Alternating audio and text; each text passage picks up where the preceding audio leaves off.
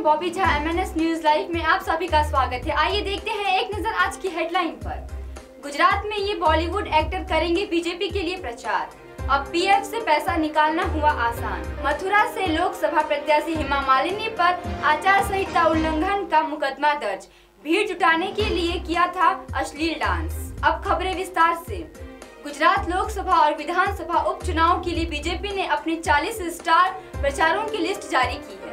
इस लिस्ट में प्रधानमंत्री नरेंद्र मोदी, अमित शाह, राजनाथ सिंह समेत कई बड़े बड़े राजनेता शामिल हैं। इस सब के बावजूद एक ऐसा नाम है जिन्होंने पीएम मोदी की बायोपिक में उनका किरदार निभाने वाले एक्टर विवेक ओबेरॉय का है हालाँकि इस लिस्ट में बीजेपी के स्टार प्रचारों में पीएम नरेंद्र मोदी, विवेक ओबेरॉय के अलावा अमित शाह, नितिन गडकरी, अरुण जेटली, सुषमा स्वराज, हेमा मालिनी समेत कई वरिष्ठ नेताओं का नाम है लेकिन सबका ध्यान विवेक ओबरॉय पर है। जानकारी के अनुसार, अपने पीएम नरेंद्र मोदी के प्रचार के दौरान विवेक ओबरॉय ने कहा था कि मुझे चमचा स्टूज भक्त भाजपा के हाथों पिका हुआ तक बना दिया। अब समझ आया मोदी ने पाँच साल में क्या झेला है। नरेंद्र मोदी पर बनी यह फ़िल्म राहुल गांधी को बहुत पसंद आएगी। मुंबई, नौकरी करने वालों के लिए पीएफ बहुत अहम होता है।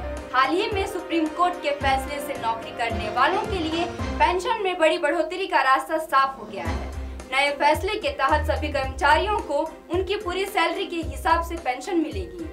पहले लोग नौकरी बदलने के वक्त अपना फंड ट्रांसफ़र करा लेते थे, लेकिन पिछले कुछ वर्षों में ईपीएफओ की रिकॉर्ड निकासी के लिए ज़्यादा आवेदन देखने को मिला। इसलिए पीएफओ ने पीएफ निकासी की प्रक्रिया को आसान बना दिया। मथुरा, सीनियर तरीका हेमा मालिनी के खिलाफ आचार संहिता उल्लंघन का केस दर्ज। वृंदावन, कोतवाली में बीजेपी प्रत्याशी हेमा मालिनी के खिलाफ आचार संहिता उल्लंघन का केस दर्ज किया। एसडीएम छाता के दर्ज कराई रिपोर्ट। पहले दिया था नोटिस नोटिस के जवाब से संतुष्ट नहीं हुए। अधिकारी बीमा अनुमति के दो दिन पूर्व आजिया गाँव के सरकारी स्कूल में हेमा मालिनी की हुई थी जनसभा। हेमा मालिनी के आने से पहले भीड़ जुटाने के लिए किया गया था अश्लील डांस। तो M N S news live की खबर देखने के लिए आज ही प्ले स्टोर से M N S India download करें, हमारे चैनल को सब्सक्राइब करें। धन्यवाद।